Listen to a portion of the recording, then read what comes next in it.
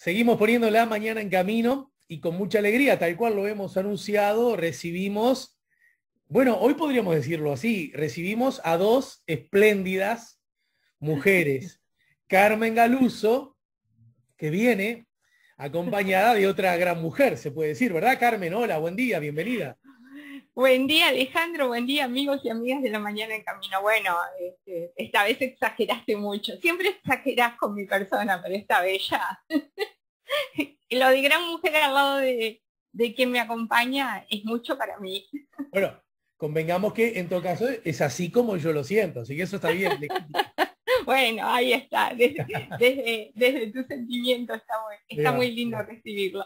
Dale, dale, este, Bueno, te cuento que hoy me acompaña Delmira Agustini. Me, gustó además, eh, quiero contarle a la gente que cuando conversamos acerca de esta vos no me propusiste Delmira Agustini, me propusiste, y trato de citar textual, Delmira Agustini hoy. Ahí está, hoy, porque justamente, mira, esta, esta, en realidad esta columna responde a que yo estuve Hace dos semanas vino mi nieta de, visita, vinieron mis dos nietos y mi hija, pero bueno, esta... A ver, a ver, a ver, hola, hola. Hacer cosas juntas, eh, a la distancia, que tienen que ver con sus estudios. Mi nieta estudia Historia del Arte y está cursando sus estudios en la Universidad de Alicante. Y, eh, ¿qué pasó? Le pidieron un trabajo sobre, eh, sobre poetas que tuviera que ver con el Día de la Mujer. Y a Sofía eh, se le ocurrió hacer a Delmira por, por todo lo que, lo que este, tiene que ver Delmira con, este, ella la conoció más que nada a través del Día de la Mujer. Este, entonces, eh, bueno, me llamó, abuela, ayúdame que voy a hacer esto, y ahí empezamos. Y justo vino. ¿Y qué hicimos con, con Sofía? Una recorrida por la actualidad de Delmira en Uruguay. Hay muchas cosas de Delmira hoy. Fuimos a dos lugares. Al lugar donde estuvo la casa de Delmira, que hoy está en el barrio Sayago. La casa ya fue destruida, queda este, después les van a quedar las fotos ahí que yo les mandé, si las, sí, Este, Alejandro, para que en la audiencia se, pueda hacer del lugar, es muy, de muy Diego, fácil Diego las va a subir, eh, supongo que no tendré inconveniente de hacerlo en la... Eh, en el correo del día. Con, con, nuestra emisión en canal YouTube, pero yo a lo, A, lo gaucho nomás, eh, yo simplemente las voy a mostrar. A, esta no es la mejor forma, pero para que la gente tenga cierta idea del material que me enviaste, ¿de acuerdo? Ahí está. Ahí estaba la casa que fue destruida. Lo que único que queda de la casa de Delmira es esa fuente que tú estás mostrando, que fue restaurada por este, la Intendencia, y eh, esas barras que tú mostraste es un, una puesta en la que están los poemas de Delmira, allí están este, grabados en el, metal, digamos, es una, una intervención muy linda. Y em, bueno, y allí este, nos encontramos con una cosa increíble cuando llegamos con, con Sofía, este, que es una pancarta. Y entonces por eso es Delmira hoy, porque esa fue, este, ah, ahí está esa pancarta que sin duda debe haber, puesto, debe haber sido puesta allí el 8 de marzo, este, el Día de, la Mujer, en la que denuncian el femicidio. Se ha considerado el primer femicidio, por lo menos se toma emblemáticamente este, el de Delmira Agustini. Bueno, la historia es muy conocida por todos, por suerte, por suerte tenemos este, mucha información, pero además, ¿qué tenemos? Tenemos obras de teatro en la actualidad, este, algunas de ellas, no daré hijos, eh, eh, daré poemas, hay una obra este, que fue representada a su vez en Madrid, yo le decía a Sofía, te viene bárbaro porque es como un puente, ¿no? Esa obra entre este, Uruguay y, España. Hay canciones, hay muchos músicos que han musicalizado este, poemas de, de o, que han escrito canciones a ella. Este, hubo hace mm, bastante poco una representación en el Liceo 46, este, de los tragicómicos, también este, tomada en el, en el marco del estudio de Mira en forma curricular. Déjame, este, agregar, simplemente para complementar lo que vos decís, que justamente no daré hijos, daré versos, Ahí está, Dari Verso, yo dije perdón. de la, de la dramaturga uruguaya, directora uruguaya Marianela Morena, ¿verdad? Que, exactamente, exactamente. Igual que yo, soy egresada de la Escuela de Artes Escénicas de Teatro del Galpón. Ahí está. Bueno, esa es la obra que te decía que fue, fue vino y fue representada en Madrid. Y lo otro, este, por tomar hitos, porque hay muchas cosas, en, el lugar que nace, ahí está. Y el lugar que este, muere Delmira visitamos. En realidad, el lugar en el que la matan a Delmira, que muere este, de, dos balazos este, por su esposo, que después él se, se mata también. Como tanto que vemos en la crónica este, policial hoy, ¿no? Claro. Este, se, repite se repite la tragedia, digamos. Eh, bueno, el lugar donde muere es una, casa donde ellos se encontraban, ellos estaban separados en vías de, divorciarse y seguían teniendo encuentros. Bueno, hay mucho, hay un halo de misterio, hay muchas posiciones respecto a, sí, por qué se encontraban. Yo no me quiero meter en ese campo porque, porque es muy resbaloso, porque vos lees distintas fuentes y, y unos dicen que fue un, un homicidio consensuado, otros el famoso pacto suicida, ¿no? El pacto suicida en el mejor de los casos, porque después están los que dicen que el esposo fue víctima, ¿no? Lo ponen como víctima de... Las crónicas, la prensa de la época lo pone como víctima de Delmira. Este, bueno, hay un mural precioso que pintó un artista este, plástico callejero que se llama Leandro Bustamante, que a instancia de los vecinos, en el lugar que tampoco ya es la casa donde eh, eso fue destruida también. Hay un, eh, hay un, eh, estas, donde dejan placas este, memoriales. Ahí está, hay un memorial del lugar donde murió Delmira, y allí pintaron un mural precioso que lo hizo en base a un poema de Delmira que se llama Fiera de Amar. Y bueno, y está ese, fueron los dos lugares que nosotros visitamos, digamos, este, y, que, y que sirven como eh, punto de partida. Hicimos el camino inverso. En lugar de partir de la historia de Delmira y llegar a la actualidad, nosotros partimos de la actualidad y hicimos el recorrido hacia atrás. ¿no? ¿Por qué están todos estos vestigios? ¿Y por qué hoy se me ocurre este, tomarlo también? Porque ¿qué pasa? Uno es hijo y víctima de su tiempo. Y esto es lo que le pasó a Delmira. Delmira fue una gran avanzada en su tiempo, fue una gran transgresora.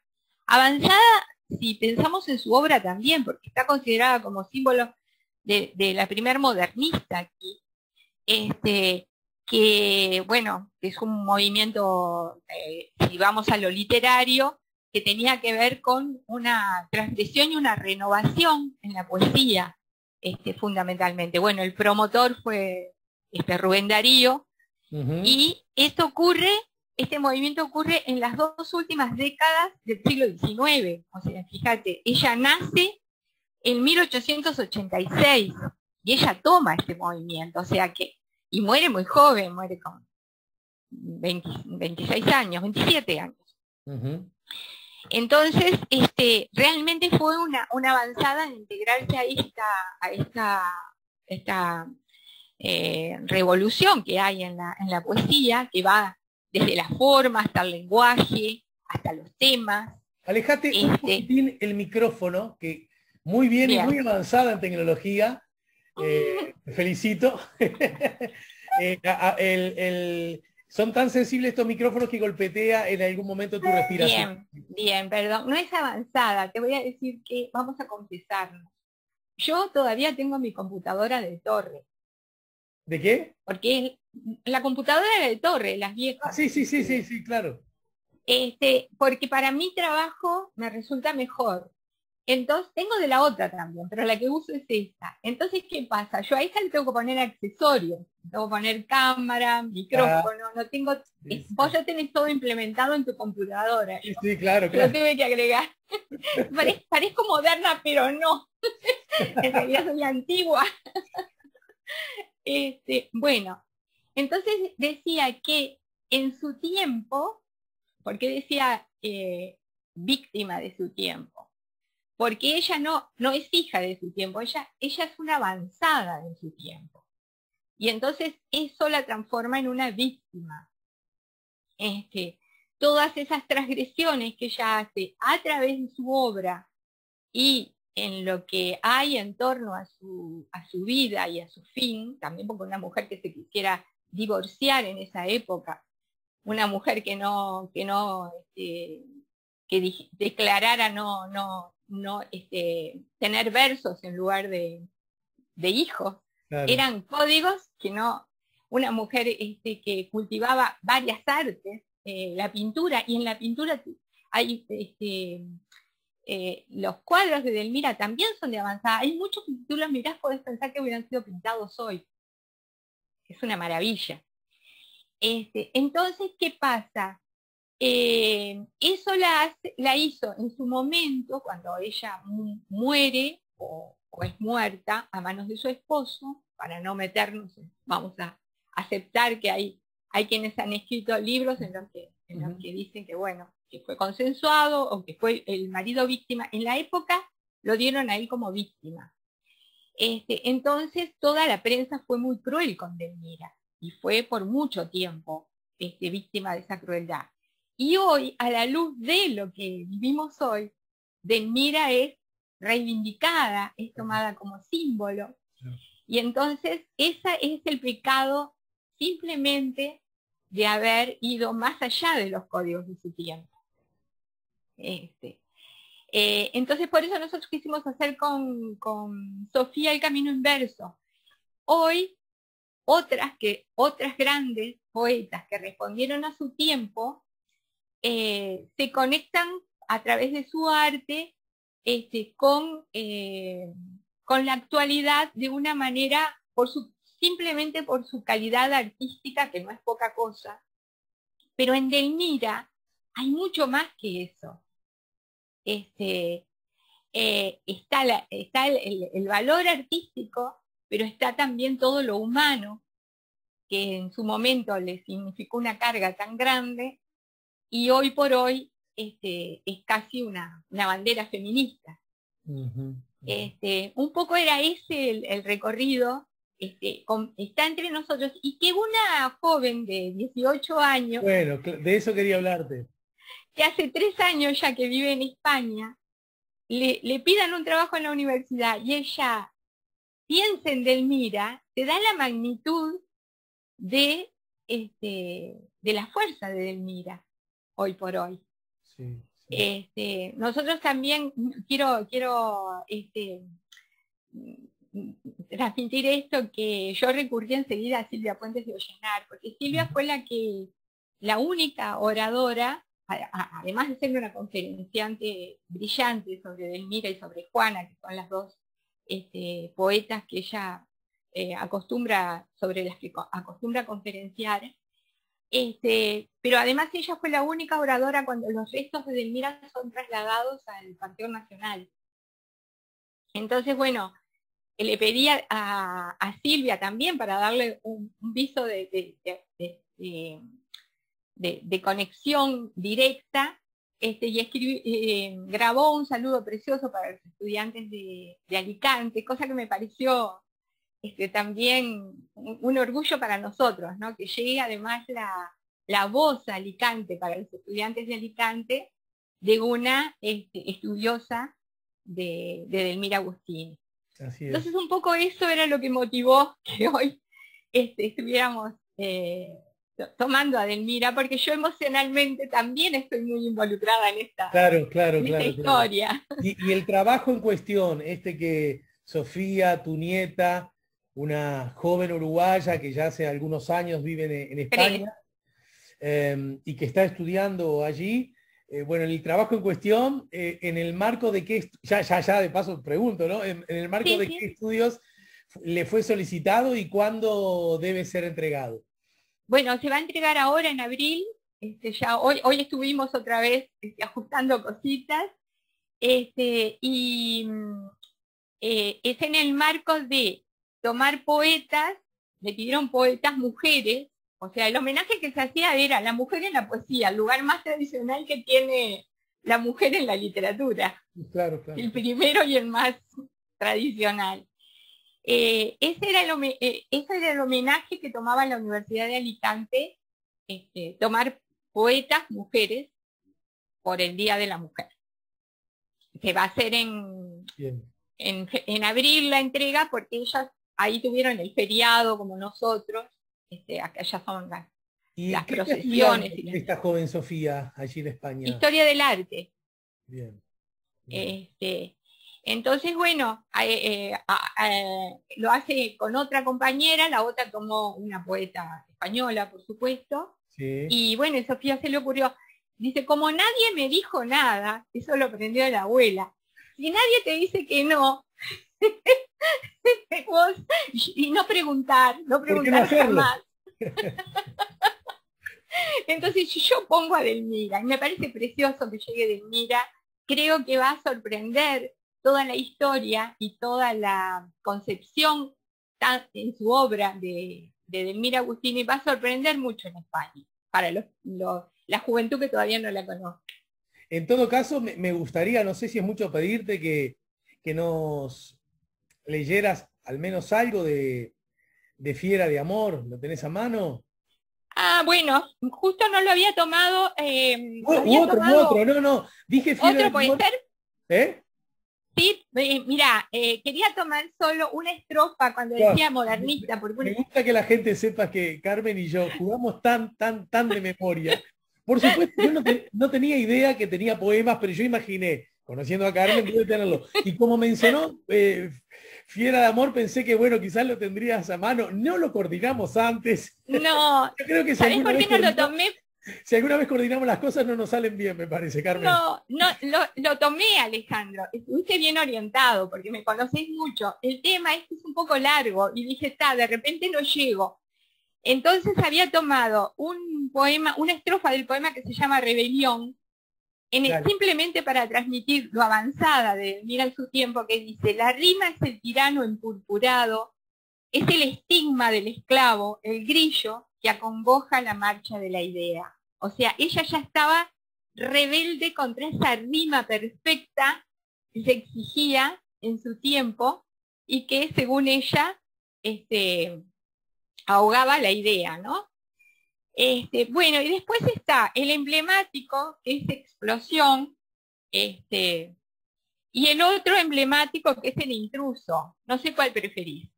El intruso es el que tiene ese tono erótico al que les fue, en su tiempo le valió también mil intrigas. Dijeron hasta, hasta que era, hasta que estaba enferma, hasta que era enferma psiquiátrica, ¿no? Dijeron cosas terribles de Delmira solo porque fue una mujer que se atrevió a hablar de sexualidad y a, reivindicar el, placer sexual. No se puede creer, pero bueno, así fue. No sé cuál querés. elija usted, profe. Bueno, este, elijo el intruso, porque es conocido, pero bueno, es representativo de venir. Amor, la noche estaba trágica y sollozante, cuando tu llave de oro cantó en mi cerradura. Luego, la puerta abierta sobre la sombra helante, tu forma fue una mancha de luz de blancura. Todo aquí lo alumbraron tus ojos de diamante. Bebieron en mi copa tus labios de frescura y descansó en mi almohada tu cabeza fragante. Me encantó tu descaro y adoré tu locura. Y hoy río si tú ríes y canto si tú cantas, y si tú duermes duermo como un perro a tus plantas. Hoy llego hasta en mi sombra tu olor de primavera, y tiemblo si tu mano toca la cerradura, y bendigo la noche sollozante y oscura que floreció en mi vida tu boca tempranera. La más audaz lo hubiera escrito ayer. o mañana. Bueno, Carmen, me, a, mí, también me encanta tu descaro. bueno, querida, te dejamos un beso grande y te agradecemos como siempre mucho, ¿sí? La agradecida soy yo y buen fin de semana para todos. Bueno, y saludos apenas converses con Sofía otra vez, ¿eh? Todos los días le mando de tu parte. Bueno, bueno, bueno. Andás a ver si lo conversás más ahora que estando ella viviendo a pocas cuadras de tu casa, ¿no? Sí, sí estamos ahí. Siempre fuimos bastante pegajosas las dos. Bueno, era Carmen Galuso que nos ayudó a poner la mañana en camino. Nos vamos a la pausa. Estamos en el 98.7. Estamos también, no lo olviden, por nuestro canal YouTube, La Mañana en Camino. Recuerden suscribirse a nuestro canal YouTube, es absolutamente gratis. Y además recuerden usar el chat del canal YouTube también para ayudarnos a poner La Mañana en Camino. Nos importan las ideas.